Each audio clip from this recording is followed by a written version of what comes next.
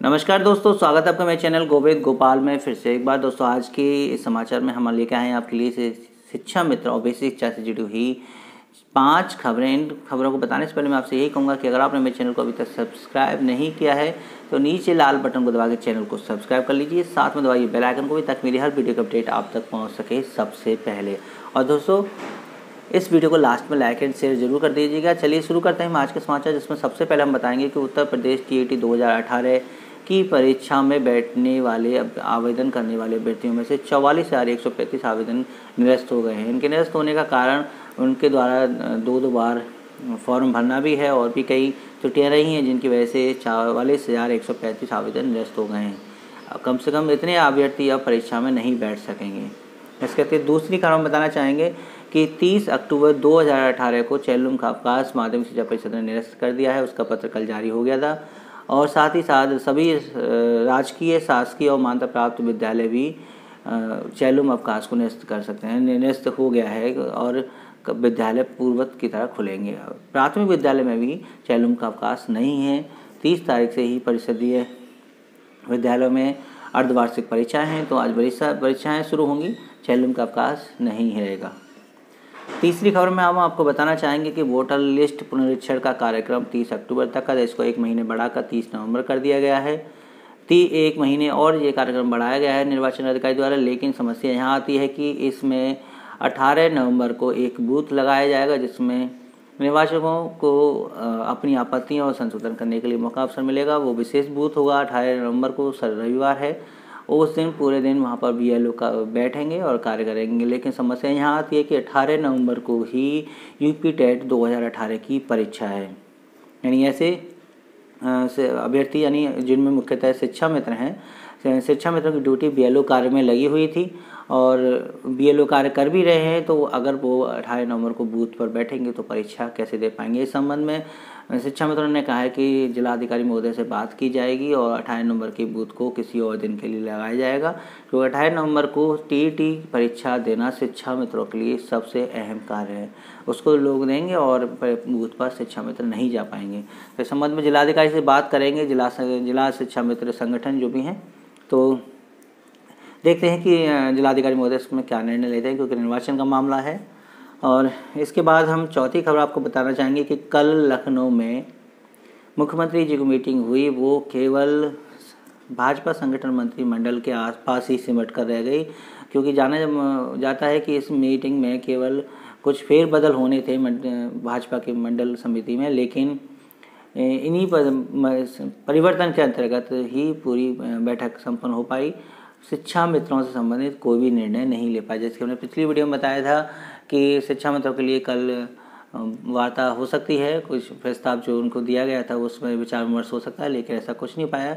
अब शिक्षा मित्रों से संबंधित जो भी विचार रखे जाएँगे, वो अब एक नवंबर की मीटिंग में रखे जाएँगे। यानी कि शिक्षा मित्रों के लिए विचार व्यवस्था की बैठक अब एक नवंबर को होगी।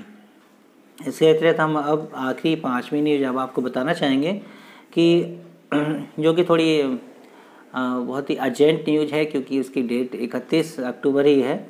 आठ दिसंबर 2018 को एक परीक्षा आयोजित होगी सेंट्रा की। टीचिंग प्रोफेशनल ओलंपियाड टीपीओ ये कार्यक्रम है, जैसे बच्चों के स्कूलों में ओलंपियाड होते हैं, यहाँ पर अध्यापकों का एक ओलंपियाड है और टीचिंग प्रोफेशनल ओलंपियाड है। इसमें आप रजिस्ट्रेशन कराते हैं, यानी जो अध्यापक हैं वो रजिस्ट्रेशन करा सकते हैं, आवेदन भर सकते हैं, एक परीक्षा होगी उस परीक्षा को दिया जाएगा। वो पूरे भारतवर्ष यानी राष्ट्रीय परीक्षा है नेशनल लेवल पर वो एग्ज़ाम होता है। उस परीक्षा में आप जब आवेदन करेंगे और फ़ीस भरेंगे फ़ीस मात्र केवल पाँच सौ या पाँच सौ नब्बे रुपये है। वेबसाइट पर पाँच सौ नब्बे दे रखी है लेटर में पाँच सौ रुपये दे रखी है।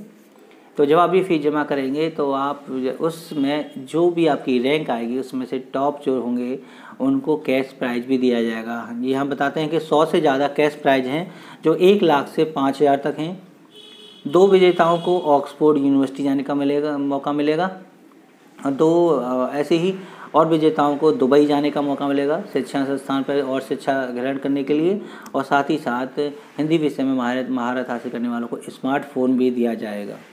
तो ये सारे इनाम हैं, जो भी इस परीक्षा को देंगे शिक्षक और अपने अनुसार रैंक लाएँगे, उसके अनुसार इनको इनाम दिया जाएगा। और साथ के साथ इकतीस दस दो हज़ार अठारह, यानी कल इकतीस अक्टूबर इसकी लास्ट डेट है। थोड़ा लेट हो गए ये जिला अधिकारी, वो जिला बेसिक शिक्षा अधिकारी अलीगढ़ ने ये पत्र जारी कर सभी शिक्षकों को सूचित किया है कि इसको आप, इसमें चाहें आप आवेदन कर सकते हैं। लेकिन सबसे मुख्य बात कि ये मात्र स्वैच्छिक है, कोई भी अनिवार्यता नहीं है, किसी हर अध्यापक को भरना अनिवार्य नहीं है। आपका, आपकी इच्छा है तो इसे आप भर सकते हैं, जो पढ़ाई से संबंधित टेस्ट देना चाहते हैं, वो उसको भर सकते हैं।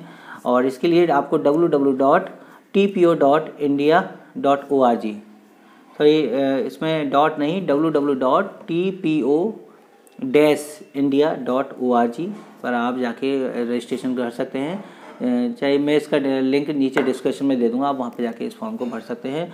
और इसके संबंधित जितना भी सिलेबस है पैटर्न है क्वेश्चन पैटर्न क्या आएगा, कैसे क्या आएगा सबकी जानकारी इस वेबसाइट पर मिल जाएगी।